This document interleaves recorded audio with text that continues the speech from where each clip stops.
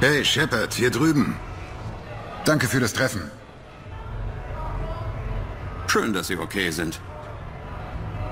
Ich dachte genau dasselbe. Hey, Jacob! Ich habe keine Credits mehr. Wer sind die?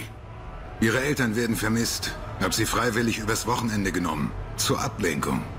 Was ist mit uns, Shepard? Es gibt doch bestimmt ein Spiel, das nur noch auf uns wartet. Gehen wir's an. Super.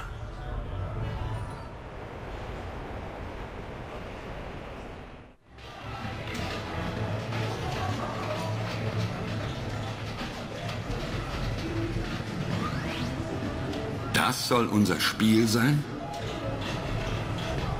Ich werde versuchen, sie nicht bloßzustellen. Echt jetzt? Blöde Sprüche? Bei Shattered ISO? Ja, verdammt. Mein Stolz steht auf dem Spiel. Die Kids sehen zu mir auf. Ich muss sie also schlagen. Sie und mich schlagen? Glaube ich nicht. Dann viel Spaß, Shepard. Aber passen Sie auf. Jetzt kann Ihnen Ihr Trupp nicht helfen. Kein Problem. Kein Stress, Shepard.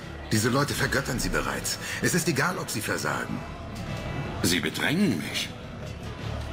Echt? Mein Fehler. Alle zurücktreten. Shepard braucht viel Platz, damit seine Magie wirken kann. Bereit? Also dann. Oh, wir müssen wirklich spielen. Zum Glück muss keiner Ihrer Freunde das mit ansehen. Wie funktioniert denn der Spaß? Soll das alles sein? Na los, na los, na los! Okay. Soll Muss mal einer erklären, wie das geht. Achtung, Shepard. Spüren Sie das? Das ist der nahende Untergang. Ich weiß nicht, wie das funktioniert, das Spiel. Weinen Sie schon, Jacob? Erklärt mir doch mal bitte einer die Steuerung. Ich kann bloß draufhauen. Wirklich. Okay. Ich weiß nicht, wie die Steuerung funktioniert hat. Tut mir leid. Gab es noch mehr als Schlagen und Abwehren? Also irgendwie hat der ja noch einen aufgeladenen Schlag gemacht, aber keine Ahnung, wie der geht. Egal, haben wir eben mal verloren. War natürlich reine Absicht, um ihn nicht zu blamieren.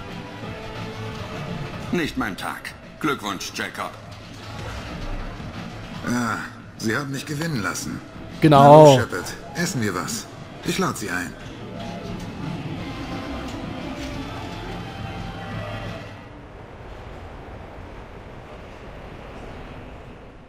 Natürlich habe ich ihn nur gewinnen lassen. Was sollte es sonst sein? Als ob mich irgendjemand schlagen könnte. Also wirklich.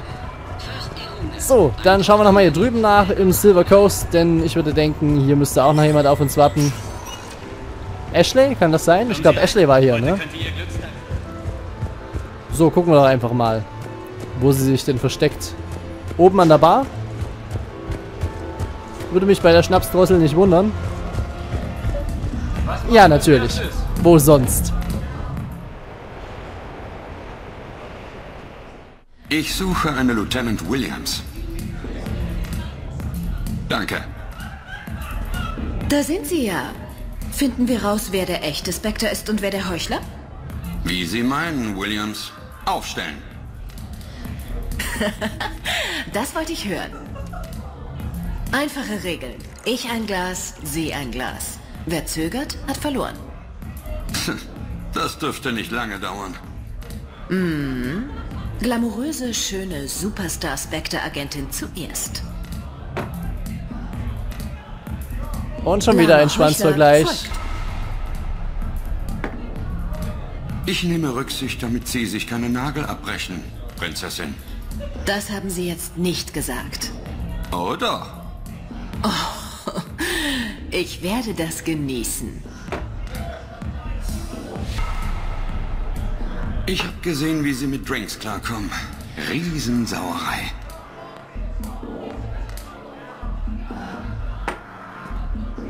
Das ist ewig her. Ah, Nicht ich lang genug. Mehr erwartet. Die besten Moves kommen erst später. Die besten Moves? Betrunken haben Sie wenigstens eine Ausrede beim Tanzen. Boom! Immer weiter. Ich kann das die ganze Nacht. Das müssen Sie auch. Das war eine gute Idee. Ja, war es. Bereit für Runde zwei? Her damit.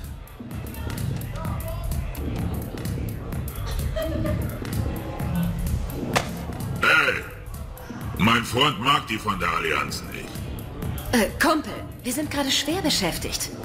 Ich mag die von der Allianz auch nicht.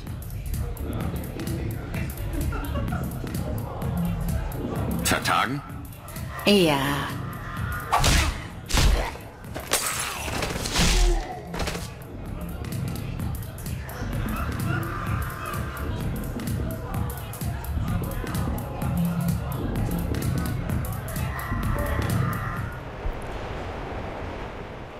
Irgendwie läuft's bei den Soldatenleuten immer auf einen Schwanzvergleich hinaus, ne? Mit James auch schon. Naja gut, was soll's. Ich frage mich, ob dieses zersplitternde Glasgeräusch die Zähne des Watchers waren. Also. Erschien mir bald so. Casino Security. Ich habe genug gesehen. Gut, ich weiß nicht, ob wir damit jetzt schon alle durch hatten oder ob noch irgendjemand fehlte. Ich bin mir ehrlich gesagt gar nicht so sicher. Willkommen im Silver Coast Casino. Ich gehe noch mal ganz kurz da drüben rein und schaue noch mal kurz, haben Sie Ihren Hauptdarsteller dazu gebracht? ob hier noch irgendjemand angezeigt wird, wenn wir drinnen sind. Aber ich glaube nicht, ne? Nee, sieht nicht so aus. Achso, Samantha fehlt noch, die ist im Apartment. Stimmt ja. Also noch einmal zum Apartment zurück. Ich hoffe, jetzt ist es das letzte Mal. Weiß nicht, ob sonst noch jemand fehlt, mit dem wir noch kein Treffen hatten. Ich meine, Rex hatten wir, glaube ich, noch nicht, ne? Aber ansonsten... Na gut, wir werden sehen. Ich hätte nichts dagegen, wenn wir dann so langsam durch wären. Denn es ist zwar ganz cool, aber es nervt ein bisschen, dass die so kleckerweise alle ankommen mit ihren Treffen. Es wäre eigentlich schöner, wenn alle zusammen gleich mal sich melden würden und wir dann alle auf einmal abarbeiten könnten. Fände ich irgendwie günstiger zumindest. Na gut. Dann also noch das Treffen mit Samantha. Wieder eine neue Nachricht. Na dann, schauen wir doch mal rein, was es gibt. Und erst die Nachricht, dann die Einladung. So. Oh, ja, eine Nachricht ist gut. Beauty Ball Freundschaftsspiel von Steve. Shepard, das Seattle, äh, die Seattle Sorcerers bestreiten ein Beauty Ball Spiel gegen die Usaro Maestros. Das wird bestimmt episch. Sie haben seit kurzem ein Apartment mit einem schicken Videobildschirm. Zufall?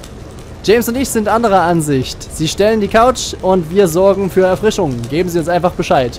Wow, echt krass, wie viel es hier gibt. Hier, Mom, bitte um Rückruf. Von Hannah Shepard. Schätzchen, wir haben lange nicht mehr miteinander gesprochen. Zu lange. Admiral Hackett hat mich für die Arbeit am Tiegel rekrutiert. Keine Ahnung, ob du das schon wusstest, aber dort bin ich jedenfalls zu finden. Könntest du mich bitte anrufen, wenn du mal Zeit hast? Ich würde mich wirklich gerne mit dir unterher... Äh, ich würde wirklich gerne mit dir reden. Mom. Und wie geht es Ihnen von Samara? Shepard, Sie waren heute schon wieder in den Nachrichten und da dachte ich, ich schreibe Ihnen mal und erkundige mich, wie es Ihnen geht. Ich bin im Moment auf der Citadel, wenn ich Ihnen also irgendwie helfen kann, dann zögern Sie nicht, mich zu kontaktieren. Einiges an Treffen wahrscheinlich wieder. Und die schauen wir uns gleich an. Ich mache nochmal eine kurze Unterbrechung. Bis gleich. Und los geht's. Was haben wir denn da so an schönen Treffen hier? Mom anrufen. Okay, jetzt ist alles hier mit drin. Äh, in welcher Reihenfolge machen wir denn das? Ich würde sagen, Mom rufen wir als letztes an. Fangen wir doch mal mit Samara an. Los geht's. Ich habe mich beeilt. Was ist los? Ich wollte Sie nicht beunruhigen. Wir konnten nur auf der Party nicht viel reden. Wir hatten unseren Abschied, Shepard. Sind Formalitäten denn so wichtig?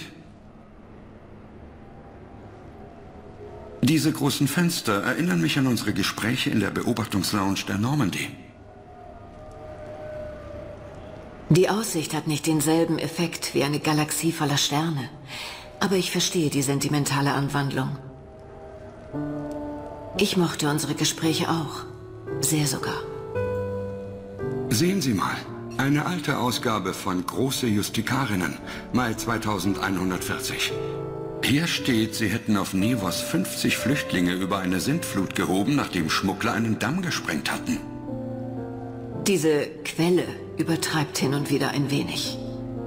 Sind Sie auch nicht fast ertrunken, als Sie ein Kind retteten, das der Mutter entrissen worden war?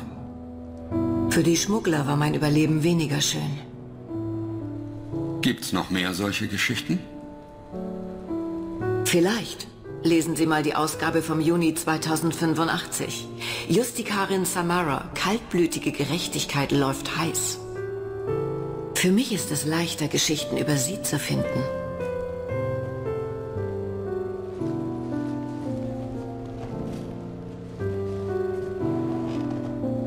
Ich finde sie bemerkenswert, Shepard. Wenn die Videos ein Hohelied auf sie anstimmen, werden sie dann rot? Stimmen sie zu? Was empfinden sie dabei? Es macht mich demütig. Aber wenn Leute glauben, dass ich etwas verändere, dann motiviert das mein Team und mich. Was jetzt? Ich finde es schön so, Shepard. Sitzen wir einfach hier, auch wenn es nichts zu sagen gibt.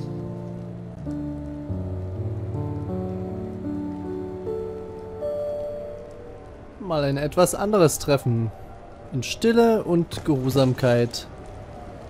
Und Samara scheint auch gleich gegangen zu sein, ne? Sie ist nicht mehr hier mit anzutreffen.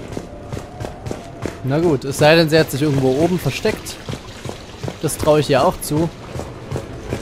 Ich muss sagen, ich mag Samara total. Und eigentlich ist es relativ schade, finde ich, dass man mit ihr keine Beziehung eingehen kann. Andererseits passt es natürlich auch wieder. Äh, weil sie ja im zweiten Teil klar zu verstehen gegeben hat, wie ihre Gedanken so sind und äh, dass sie das halt nicht zulassen könnte, so ungefähr. So. Schauen wir mal rein, was machen wir denn als nächstes? Ich würde sagen, gucken wir erstmal ein bisschen, wie ist das? Beauty Ball mit äh, Cortez und James zusammen. Los geht's.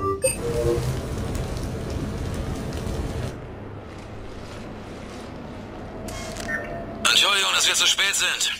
Jemand hat vergessen, das Silvester mitzunehmen. Kommen Sie rein. Dieser jemand waren Sie.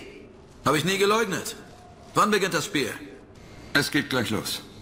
Seattle Sorcerers gegen Usaro Maestros. Das bedeutet Peyote Ball der härteren Sorte. Nein, ist nur ein Freundschaftsspiel für die Truppenmoral. Das gehen die entspannt an. Mitten im Krieg, wenn die Armee zuschaut? Sie werden alles geben. Absolut.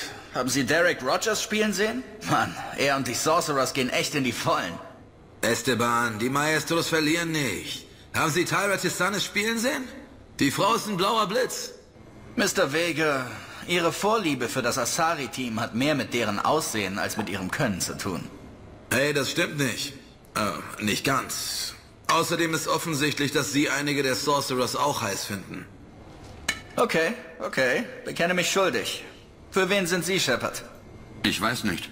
Was meinen Sie beide? Die Seattle Sorcerers sind eins der wenigen letzten Menschenteams. Sie waren beim Angriff auf die Erde auf Tour. Seit sie Donna Novotny von den Hackers gekauft haben, sind sie völlig unbesiegbar. Stimmt, aber die meisten Maestros haben schon vor dem Erstkontakt gespielt. Sie werden gewinnen. Die Sorcerers haben die Maestros noch nie geschlagen, aber sie waren auch noch nie so hungrig. Also, Shep, wer wird gewinnen? Äh, keine Ahnung. Sind wir doch mal für die Menschen. Einfach nur, weil wir auch Mensch sind. Man muss ein bisschen Patriotismus zeigen. Man wettet nicht gegen das Heimteam. Mr. Vega, ich hoffe, Sie geben klein bei. Wann hat sich unser Commander je geirrt? Ruhe jetzt, das Spiel fängt an. Mierda, der war draußen! Du bist blind, Shiri!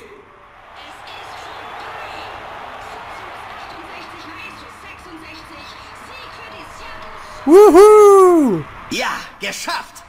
Her mit der Kohle. Hey, warum durfte ich nicht mitwetten? Wir haben eigentlich nicht darauf gewettet, wer siegt. Sondern darauf, ob Sie den Sieger vorhersagen. Und jeder weiß, dass man nicht gegen Shepard wettet. Wie auch immer. Es war ein tolles Spiel. Ja, ein schöner Abend. Danke, Shepard. Gern geschehen. Es ist schon spät. Hasta luego. Hm. Ich hätte nur gerne noch was vom Spiel gesehen. Mich hätte mal interessiert, was Beauty Ball eigentlich darstellen soll. Aber gut, warum nicht? Also wir sehen, wir haben hier einiges an Treffen, die auch mal kleinerer Natur sein können, mal ein bisschen klein und entspannt ausfallen können. Finde ich aber eigentlich ganz witzig.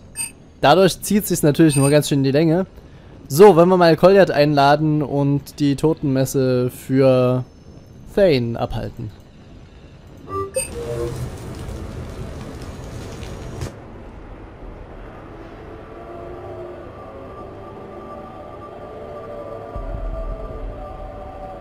Wir sind hier versammelt, um Thane Creers zu ehren.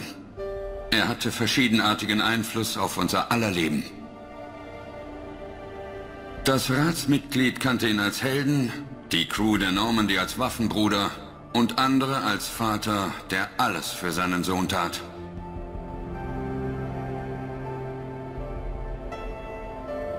Obwohl sein Leben ihn an sehr dunkle Orte brachte, lagen ihm unsere besseren Seiten am Herzen. Selbst als er unheilbar krank war, rannte er durch umkämpfte Straßen, weil er wusste, dass ich Hilfe brauchte. Alle hier kennen das Resultat dieses Tages. Ein Attentäter, ein Berufsverbrecher, gab sein Leben für die Galaxie. Und jetzt kann er ruhen. Möchte noch jemand etwas sagen? Mir bleibt von Thane vor allem seine Zuversicht im Gedächtnis. Er hat mir einmal erzählt, wie er sich an alles erinnert. Auch an jeden seiner Fehler. Mich würde das seelisch ruinieren. Thane behielt es unter Kontrolle.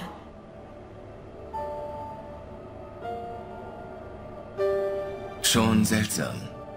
Attentäter ist das Letzte, was ich mit Thane verbinde. Wir gaben uns gegenseitig Feuerschutz. Er war ein Partner. Thanes letzter Kampf war wichtig. Aber vergessen wir nicht, warum er die Normandie verließ. Um seinen Sohn vom Verbrechen abzuhalten. Taten wie diese werden vom Universum durchaus bemerkt. Sie hallen in allen wieder, die sie hören. Darum bin ich hier. Thane war sehr ernst. Damit war ich nicht immer einverstanden. Ich habe mehrmals versucht, ihn zum Lachen zu bringen. Aber diese scheinbare Humorlosigkeit verbarg eine große Anstrengung. Thane änderte sein Leben wie nur wenige organische Wesen. Als Thane auf die Normandy kam, wussten Kelly und ich von ihm nur, dass er uns vermutlich alle mit einem Kugelschreiber umbringen könnte. Aber wenn man ihn näher kannte, musste man keine Angst mehr haben. Er ließ einen wissen, wo man stand. Colliard, willst du, äh...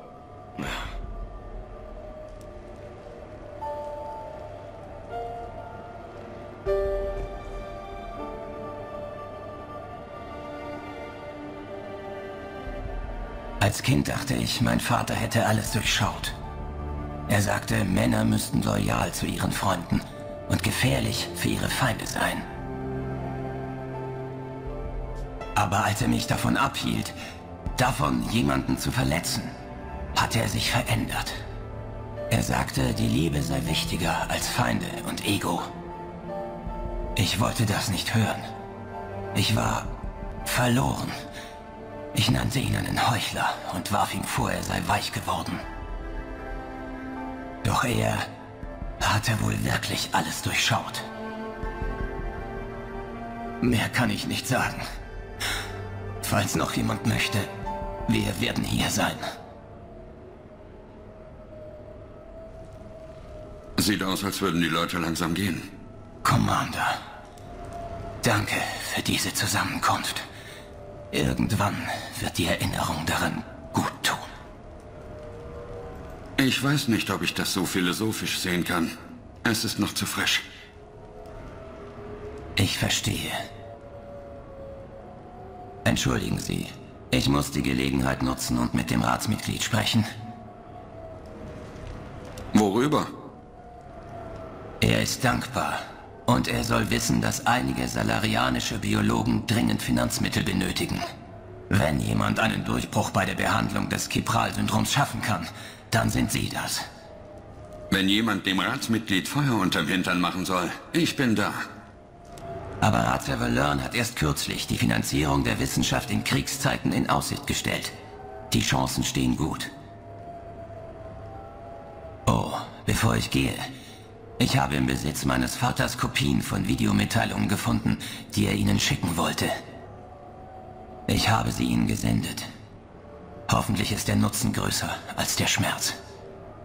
Bis zum nächsten Mal, Commander.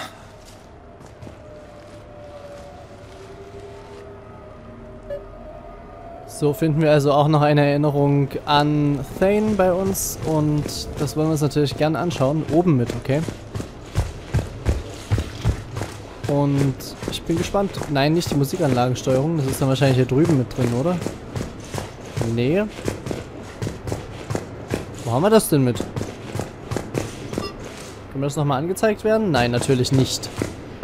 Okay, aber es war definitiv mit dem oberen Stockwerk. Hier.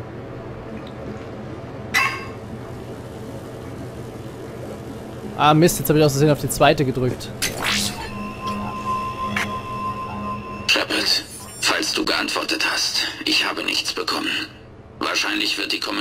Mit jemandem wie mir zensiert. Das Ironische ist, dass ich keine Gefahr mehr darstelle. Ich zahle sogar Steuern. Denn wenn ich es nicht tue, kann ich es auch nicht von Kolyat erwarten. Es geht ihm besser. Er hat keine Freundin und ist jähzornig. Aber er hat einen Job und macht keine krummen Sachen. Er meint es ernst mit seiner Veränderung. Sie hat ihn mehr gekostet als ein paar Freunde. Antworte bitte, falls möglich, Shepard. Aus den Nachrichten erfahre ich nicht viel über dich. So, schauen wir uns erst nochmal die erste Nachricht dazu an. Shepard, ich sollte dir wohl für meine Freiheit danken. Es war richtig, die Normandie zu verlassen. Es war traurig, dass unsere Crew getrennte Wege ging. Aber besser als in einem Verhörraum der Allianz Fragen zu beantworten. Hoffentlich geht es dir gut. Was mich angeht, ich bin in ein Apartment auf der Citadel gezogen. In der Nähe von Colliard.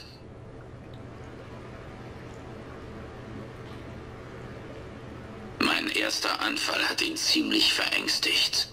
Ich erspare dir die Details. Es schien zunächst dramatisch zu sein, aber im Vergleich zum Omega-Portal war es ein Kinderspiel. Jedenfalls viel Glück, dass die Allianz auf dich hört. Wir bleiben in Kontakt. Und schließlich noch die dritte und letzte Nachricht. Ich habe versucht, diese Nachricht mit einer falschen Identität durchzubringen. Ich bin gespannt, ob es funktioniert. Es gibt gute und schlechte Nachrichten. Die gute ist, dass Colliard und ich ein paar Tage auf der Erde waren. Licht im Schatten ihrer Augen. Schrilles Zwitschern hört auf. Ich scanne den Boden. Zwei kleine Körper ineinander gekrallt. Verzeihung. Also, wir sahen einen wunderschönen Sonnenuntergang in New Mexico und einen Skorpion, der eine Grille fraß. Du hättest dabei sein sollen. Und die schlechte Nachricht. Ich wurde ohnmächtig. Colliard hat mich überredet, im Huerta Krankenhaus auf der Citadel zu bleiben. Bis auf weiteres. Ich will nicht im Krankenhaus sterben. Aber da sind nun mal die Ärzte. Und Colliard. Ich liebe ihn. Also muss ich ihm vertrauen. Leb wohl, Shepard. Ich sage es jetzt, falls ich es später nicht mehr kann. Tja. Den Rest der Geschichte kennen wir.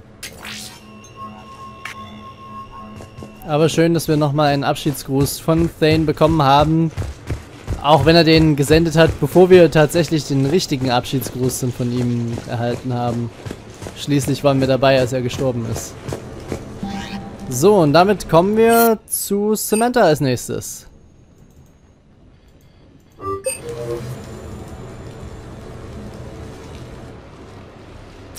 Und das soll wirklich hier bleiben?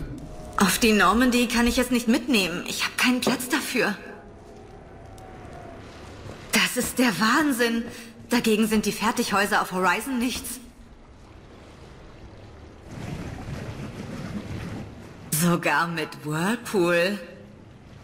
Nur zu. Danke.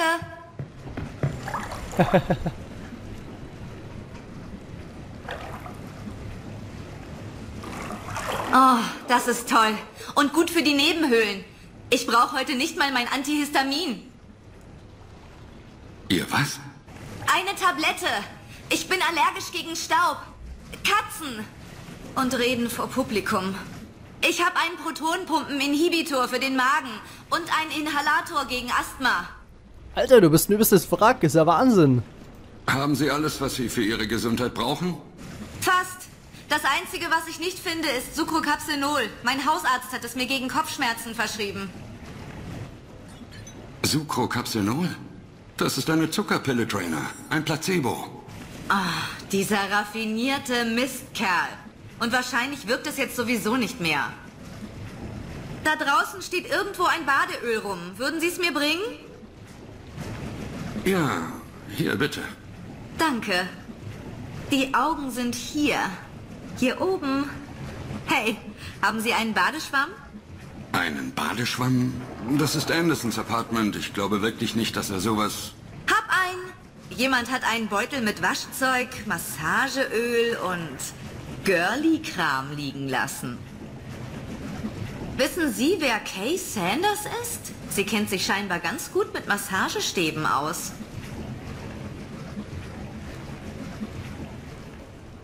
So, so, Massagestäbe also. Na klar doch.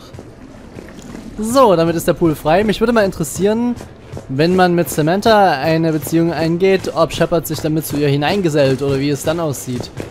Ist ja auch das Krasse, ist, die ganzen Gespräche, die können ja alle noch komplett anders sein, wenn man einen anderen Beziehungsstatus zu dem jeweiligen Crewmitglied hat, ne? Also wie viel an Gesprächen und an Treffen hier noch mit eingearbeitet wurde, ist echt schon Wahnsinn. Ich meine, man hat nicht so viel, man hat halt so gut wie, doch man hat was zu kämpfen, natürlich, es gibt eine ganze Story mit drin, in der man kämpft. Äh, aber dieses ganze Drumherum, was das für ein Aufwand ist, also vom Umfang her ist das auch das absolut größte DLC, würde ich denken. Ist ja echt Wahnsinn, was hier alles mit rauskommt. So, und schließlich noch der Anruf mit der Mutter.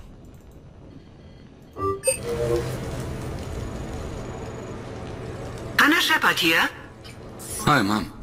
Oh, Schatz, es tut gut, deine Stimme zu hören. Das ist eine Überraschung. Es ist lange her. Stimmt. Ich dachte einfach, ich müsste... Ich denke jeden Tag an dich. Versuche mir keine Sorgen zu machen. Neulich sind mir die gute Nachtgeschichten wieder eingefallen, die wir uns immer ausgedacht haben. Du hattest dein eigenes Schiff und eine Crew.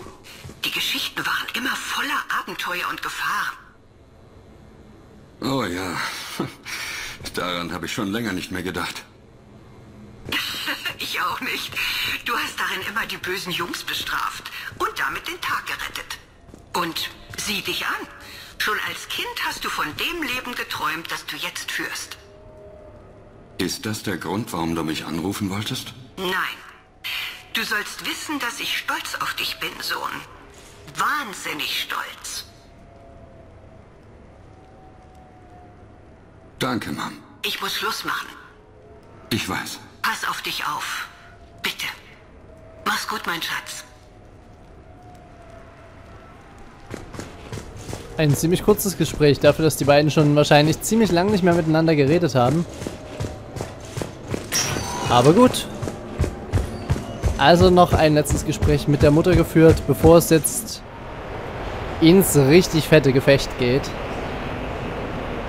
Das wir aber nicht mehr in der Aufnahmesession machen werden. Also ich denke mal den Angriff auf Cerberus und äh, dann alles, was zum Ende hinführt, das werden wir dann in eine letzte Aufnahmesession zusammenpacken. Jetzt erstmal zurück zur Normandy. Und jetzt sollten wir doch endlich durch sein, oder? Commander? Ich glaube schon. Ich gucke nochmal sicherheitshalber. Ja. Damit haben wir jetzt auch endgültig alles vom Citadel DLC gesehen. Hoffe ich. Ist echt krass, was für ein riesiger Umfang da mit drin steckt. Und hat mir echt gut gefallen. Und beim nächsten Mal werden wir uns dann richtig ins Vergnügen stürzen. Wir können ja nochmal kurz hinfahren. Da habe ich es beim nächsten Mal dann nicht so weit. Und äh, da werden wir dann unweigerlich aufs große Finale zusteuern, denn wir haben es ja schon gehört von Anderson. Nee, Hackett war es, ne? Oder Anderson? Ich glaube Anderson war es. Dass es dann kein Zurück mehr gibt, wenn wir einmal den Unbekannten angegriffen haben.